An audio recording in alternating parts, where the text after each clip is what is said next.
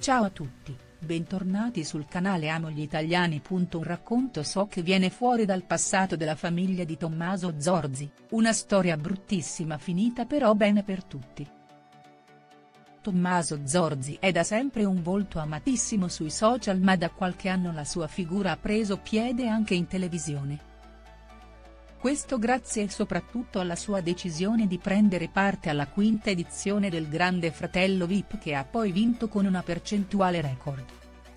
Da quel momento in poi la sua vita è finita ulteriormente sotto la lente di ingrandimento ed anche i membri della sua famiglia. In particolare ha attirato l'attenzione sua sorella Gaia che non a caso due anni fa è stata scelta come conduttrice del GF VIP Party. Proprio Gaia di recente ha fatto una inaspettata confessione su social che ha lasciato tutti senza parole e che riguarda il suo passato. Tommaso Zorzi, il rapporto con sua sorella Gaia, viene fuori una storia soc. Sia durante la sua esperienza nel reality sia una volta terminato, Zorzi ha sempre parlato bene di sua sorella Gaia. I due hanno inoltre rivelato di avere un bellissimo rapporto e di essersi sempre supportati nei momenti difficili.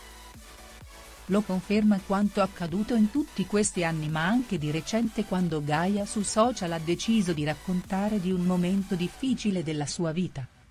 Dopo gli ultimi fatti di cronaca che hanno scatenato l'opinione pubblica, Gaia ha deciso di rivelare di quando anche lei è stata drogata e di come lei sia però stata fortunata grazie alle sue amiche.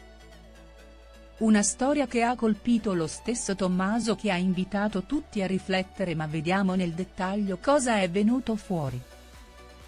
Di recente Gaia è tornata attiva su Twitter per raccontare di quando alcuni anni fa è andata a ballare con alcune amiche e coinquiline, stupidamente accettai dei drink da degli sconosciuti. Da quel momento non mi ricordo nulla, zero assoluto. A quanto pare ho perso i sensi e mi sono svegliata solo alle 13 del giorno dopo in ospedale. In quel frangente Gaia ha raccontato di aver avuto accanto a lei una delle amiche. Nel suo sfogo Gaia ha poi aggiunto, trovarono nel mio sangue del roipnol conosciuto come date drag. Anni dopo quel posto ha chiuso perché si è scoperto che erano i baristi a vendere queste sostanze ai ragazzini.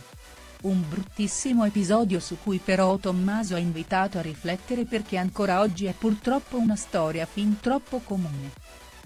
Cosa ne pensi delle notizie di cui sopra? Ti preghiamo di mettere mi piace e commentare la tua opinione in modo che possiamo discutere. Non dimenticare di iscriverti al canale per rimanere aggiornato sulle ultime novità. Arrivederci, ci vediamo al prossimo video.